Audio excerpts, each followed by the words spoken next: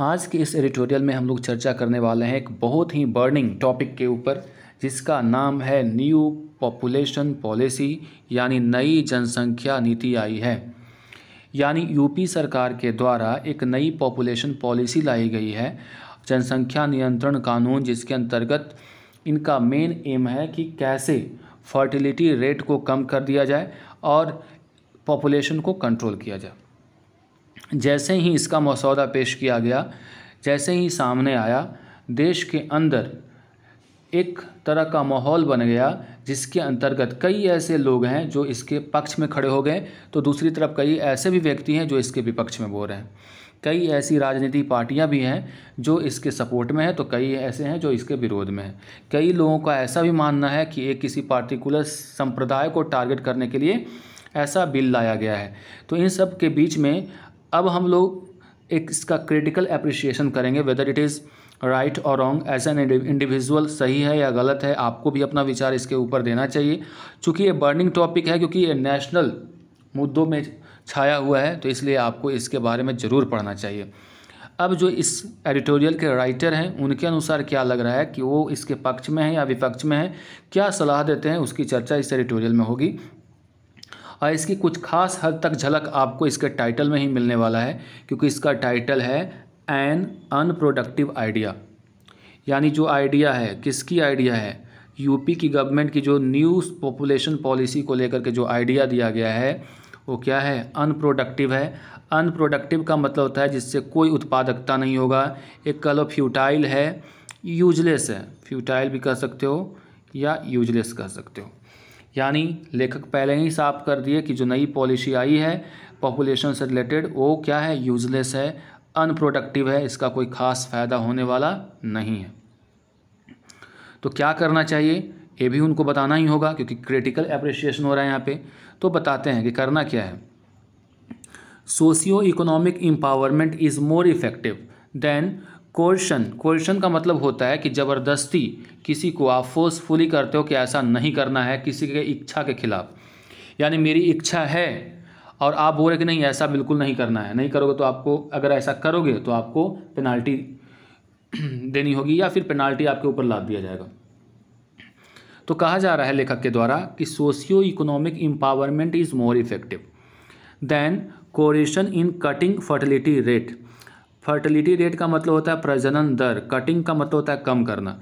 यानी प्रजनन दर को कम करने में जो फोर्स यूज़ कर रहे हो आप, ताकत यूज़ कर रहे हो, ज़बरदस्ती कर रहे हो, उसके बजाय करना क्या चाहिए? सोशियो मतलब सोशल, सामाजिक स्तर पे, इकोनॉमिक मतलब आर्थिक स्तर पे इम्पावरमेंट लाइए, सशक्तिकरण कीजिए।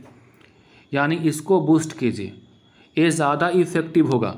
ज़्यादा प्रभावी होगा। किसके कंपेयर में? उसके कंपेयर में जहाँ पे आप इसको कम करने के लिए ज़ोर आजमाइश कर रहे हो, ज़बरदस्ती कर रहे हो।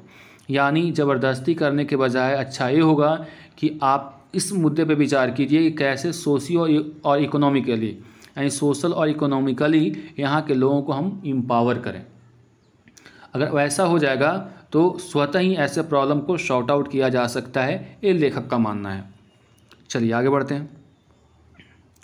Incentives and penalties form an integral component of the measures to control population growth announced by Uttar Pradesh chief minister Yogi Adityanath on Sunday Sunday को योगी आदित्यनाथ के द्वारा पॉपुलेशन को, के ग्रोथ को कंट्रोल करने के लिहाज से एक कदम उठाया गया। योगी आदित्यनाथ, जो चीफ मिनिस्टर हैं उत्तर प्रदेश के के, उनके द्वारा अनाउंस किया गया, घोषणा की गई है। और एक कदम के तौर पे देखा जा रहा है, उठाया गया उनके द्वारा, क्या करने के लिए? पॉपुलेशन को कंट्रोल करने के लिए संडे को। ठीक है? यानी संडे को उन्होंने अनाउंस किया उसमें दो चीज़ें शामिल हैं। एक है इंसेंटिव्स अगर कोई अच्छा काम करते हो, यानी जो कहा गया है, अगर वैसा काम करते हो तो आपको इसमें इंसेंटिव मिलेगा। यानी आर्थिक लाभ मिल सकता है, आपको फ़ायदा होगा। और जो बात इसमें कही गई है, उसका अगर फॉलो नहीं करते हो, तब उसके लिए आपको पेनाल्टीज़ भी है। यानी उसके लिए आपको दंड भी दिया जा सकता है। और दंड के तौर पे क्या होगा, आगे हम लोग चर्चा करेंगे। ठीक है? यानी दो चीज़ों का इंटीग्रल कंपोनेंट है इसमें। इंटीग्रल का मतलब होता है अभिन्न, जो इसका पार्ट है। यानी दो चीज़ें हैं इसमें शामिल। इंसेंटिव भी है और पेनाल्टीज़ भी हैं। अगर एक बच्चा को जन्म देते हो तो इंसेंटिव्स मिलेगा। दो तक ठीक ठाक है। दो से अधिक करोगे तो फिर आपको पेनाल्टीज़ के रूप में क्या क्या मिलेंगे? आगे हम लोग चर्चा करेंगे। आगे देखते हैं। These steps are aimed at reducing UP's total fertility rate इसका एम क्या है? इरादा क्या है? ये चाहता है कि रिड्यूस करना। इसका जो मेन गोल है एम है कि रिड्यूस करना है इसको क्या? यूपी की जो टोटल फर्टिलिटी रेट है टी एफ़ आर जो कि रिकॉर्ड किया गया है 2.7 by the national family health survey चौथा यानी फोर्थ टाइम जो हुआ था, national family health survey four के तहत, यहाँ पे इसका एक पॉइंट दिया गया 2.7 2016 में हुआ था, ये भी याद रखना है आपको, और पाँचवा 2020 में हुआ था। जिसमें एक फिगर सामने आया, आंकड़ा आया only lower than that of neighbouring Bihar Bihar से केवल कम था इसका, बाकी राज्यों से ज़्यादा है। एफटीआर के मामले में, यानी टोटल फर्टिलिटी रेट के मामले में यूपी जो है, बिहार के बाद आता है, यानी बिहार इससे भी आगे। यानी सभी राज्यों से आगे, केवल बिहार से कम था। बिहार का क्या पॉइंट है? थ्री पॉइंट वन है। ये 2020 का आंकड़ा है। एन एफ़ एच एस का जो सर्वे हुआ, वो पाँचवा सर्वे हुआ 2020 में, उसका ये आंकड़ा है। एम्स इन दिस डायरेक्शन अब क्या है इसका एम इस डायरेक्शन में increasing the rate of modern contraceptive prevalence. इस लक्ष्य को प्राप्त करने के लिए इस डायरेक्शन में क्या काम किए जा रहे हैं क्या क्या का, काम किए जा सकते हैं उसकी चर्चा है यहाँ पे। तो कहा जा रहा है कि जो मॉडर्न तरीका है कॉन्ट्रासेप्टिव कॉन्ट्रासेप्टिव प्रेवलेंस की बात हो रही है यानी गर्भ निरोधन के जो मॉडर्न तरीके हैं उसको बढ़ावा देने की बात कही जा रही है। उसके रेट में क्या वृद्धि करने की बात हो रही है। ये हो सकता है मेल कॉन्ट्रासेप्शन, जिसमें नसबंदी आता है मेल के लिए, और डिक्रीजिंग मैटरनल मोर्टलिटी। इससे क्या होगा कि ज़्यादा से ज़्यादा कम होगा मैटरनल का मतलब मातृत्व और मोर्टेलिटी का मतलब मृत्यु। एंड इन्फेंट मोर्टेलिटी रेट्स, यानी मातृत्व की मृत्यु दर, माताओं का जो मृत्यु दर होगा या बच्चों का मृत्यु दर है, उसमें कमी लाना, ये अभी इसका प्रयास है। कब तक? Significantly by two thousand six तक।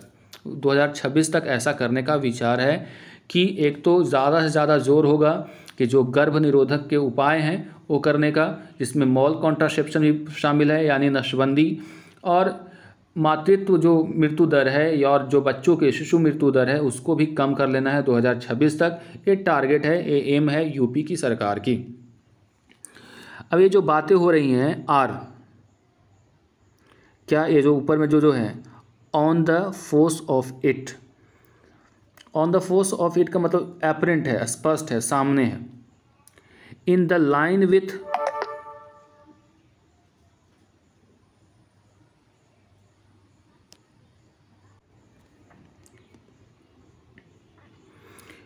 यहाँ देख लेते हैं, आगे।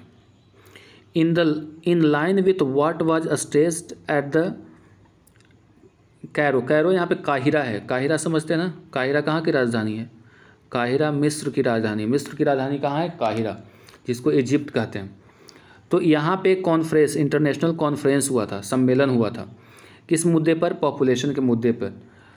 और इसके डेवलपमेंट को लेकर के कब? 1994 में। याद रखिएगा कि काहिरा में एक इंटरनेशनल कॉन्फ्रेंस हुआ था पॉपुलेशन के मुद्दे पर और उसके डेवलपमेंट को लेकर के 1994 में। और यहाँ के जो कंसेंसस हुआ था, यानी सामूहिक विचार बना था, वो डिमांड करता है। कॉल फॉर का मतलब क्या होता है? डिमांड करना। A promotion of reproductive rights यानी प्रजनन के जो राइट्स हैं, अधिकार हैं, बच्चे को जन्म देने का जो अधिकार है, उसको ये वकालत करता है, उसको क्या करता है? प्रमोट करता है। ये नहीं कहता कि रोक दो, उसको क्या करता है? प्रमोट करता है। लेकिन प्रमोट करता है, लेकिन इसके साथ ही वो कहता है कि अगर ऐसे मुद्दे को कंट्रोल करना चाहते हो तो ज़बरदस्ती करके नहीं होगा। करना क्या पड़ेगा? वो आगे है। इम्पावरिंग वुमेन औरतों को सशक्त बनाना पड़ेगा, उनको इम्पावर करना पड़ेगा। यूनिवर्सल एजुकेशन यूनिवर्सल एजुकेशन कहने का मतलब ये होता है सर्वभौमिक एजुकेशन जिसमें सभी लोग शामिल हो मेल हो या फीमेल हो, सबको एजुकेट करना पड़ेगा। Maternal and infant health to untangle the knotty issue of poverty and high fertility कह रहा है कि मैटरनल मतलब मातृत्व से रिलेटेड इन्फेंट मतलब शिशु के जो हेल्थ से रिलेटेड है, जो एक गंभीर अनटेंजेबल नॉट का मतलब होता है वैसा गांठ जिसको खोला नहीं जा सकता है, यानी कंप्लीटली अगर कहें तो कॉम्प्लेक्स होता है। यानी अगर ऐसे इशू मुद्दे को या जो कोई कॉम्प्लेक्स है, उसको, जो कि अनटेंजिबल है, जिसको कांट को खोला नहीं जा सकता है, उसको एड्रेस करने के लिए, जो कि इशू ऑफ़ पोवर्टी और हाई फर्टिलिटी का कारण है, यानी कहना ये चाह रहा है कि पोवर्टी है और एंड हाई फर्टिलिटी जैसे पेचीदा चीज़ों को, यानी पेचीदा इशू को, मुद्दों को सॉल्व करने के लिहाज से ज़रूरी है कि औरतों को एम्पावर करें एडुकेट करें और जो बच्चे हैं या फिर जो मेटरनल हैं या इन्फेंट हैं, उसके हेल्थ पे भी ये किया जाए, ध्यान दिया जाए, उसको भी एड्रेस करने की ज़रूरत है। तभी इस हाई फर्टिलिटी को रोका जा सकता है, जो प्रजनन है। पढ़े लिखे लोग रहेंगे तो समझदार बनेंगे। समझदार रहेंगे तो स्वतः इनके उपाय क्या क्या होने चाहिए, उनके दिमाग में चलता रहेगा। एक कहना था, जो काहिरा में मीटिंग हुई थी, उसमें ऐसा प्रस्ताव पारित किया गया कि नहीं, आप किसी को फोर्सफुली नहीं कर सकते हो, किसी राइट का, किसी का अधिकार का हनन नहीं कर सकते हो, बल्कि आप उसको एडुकेट करो, उनको एम्पावर करो, गरीबी से उनको बाहर निकालो, ताकि वो प्रजनन क्षमता जो उनकी होती है, जिस पे वो विचार नहीं कर पाते हैं, उनको ये शॉर्ट आउट कर पाए। ठीक है? ये हो गया। अगर ये सवाल आ भी सकता है कि उन्नीस सौ चौरानवे एक मीटिंग हुई थी, जो करेंट टॉपिक पे आधारित है एडिटोरियल आगे बात करते हैं। बट लेकिन rather than taking steps in this direction इस दिशा में कदम उठाने के बजाय कौन सी दिशा जो शिका, वहाँ काहिरा में हुआ था उसकी ओर? तो जो बात पहले कही गई है, उस दिशा में कदम उठाने के बजाय द गवर्नमेंट जो सरकार है seems to have taken the beaten path of a mixture of incentives and penalties इसने एक बीटेन पाथ ले लिया है, दूसरा पाथ अख्तियार कर लिया है, जो कि उसमें शामिल है दोनों चीज़ें। एक और इंसेंटिव भी देगा उसमें और पेनाल्टीज़ भी देगा। To tackle what is socio economic issues उस मुद्दे को टैकल करने के लिए, समाधान करने के लिए जिसको कहा जा रहा है कि सोशियो इकोनॉमिक इशू है। As a demographic one demographic का मतलब होता है जनसांख्यिकी से रिलेटेड है, यानी जनसंख्या से रिलेटेड है। इन अ ड्राफ्ट जो ड्राफ्ट लाया गया है Uttar Pradesh population control stabilisation and welfare bill 2021 इसका नाम है। जो यूपी सरकार के द्वारा लाया गया है। The government aims to incentive one child family इसमें जो सरकार है, वो एक बच्चे वाली जो फैमिली है, उसको इंसेंटिव देने का प्रावधान रखी है। एंड रिवार्ड दोज उसको रिवार्ड देना देना है हु विथ टू चिल्ड्रेन दो बच्चों के साथ जो है, उनको रिवार्ड उनको भी मिलेगा। With perk in the government scheme जो सरकारी योजनाएँ हैं, उनमें पर्क उनको लाभ मिलेगा। उनको रिबेट मिलेगा टैक्स में। टैक्स में कटौती, यानी समझ लो कि राहत मिलेगी एंड लोन्स में भी। उनका इंटरेस्ट कम हो जाएगा एंड कैश भी मिलेगा अवार्ड मिलेगा कैश के रूप में। If family planning is done among other shops ठीक है? तो अगर फैमिली प्लानिंग किया जाता है इस तरीके से। अब देखो, ये तो हो गया इंसेंटिव देने की बात। और जहाँ डिस इंसेंटिव उनको मिलेगा फॉर दोस्त मतलब इंसेंटिव जिनको नहीं मिलना है with more than two children जिनके दो बच्चे होंगे, जिसमें शामिल है डिनाइल ऑफ़ सब्सिडीज़ आपको किसी तरह की कोई सब्सिडी नहीं मिलेगी, जो वेलफेयर स्कीम्स होते हैं बेनिफिट्स होते हैं, जैसे चावल वगैरह मिलता है और बहुत सारे योजनाएँ चलती है सरकार की, उसका भी फ़ायदा आपको नहीं होगा। अब बार बार का मतलब होता है ban on applying for government jobs आप गवर्नमेंट जॉब में भी अप्लाई नहीं कर सकते हैं and taking part in local elections जो लोकल स्तर का इलेक्शंस होता है, पंचायत वगैरह का, उसमें भी आप भाग नहीं ले पाएँगे। यानी ये सब प्रॉब्लम्स आपको झेलना पड़ेगा, अगर दो से अधिक बच्चे हो गए आपके तो। Assam also led by the BJP Assam, जो बीजेपी की सरकार है वहाँ पे, उसके द्वारा नेतृत्व किया जा रहा है इज़ मलिंग मलिंग का मतलब होता है थिंक ओवर सोचना।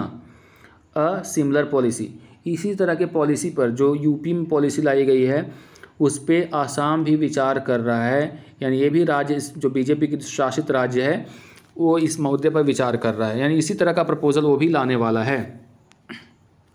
आगे देखते हैं। द इंसेंटिव्स और disincentives. Approach has been denounced in the past by the national human rights commission. Incentive देना या डिसइंसेंटिव देने वाला जो अप्रोच है ना, ये जो पहल है, इसको डिनाउंस कर दिया गया है। मतलब इसको क्या एक्सेप्ट नहीं किया गया है?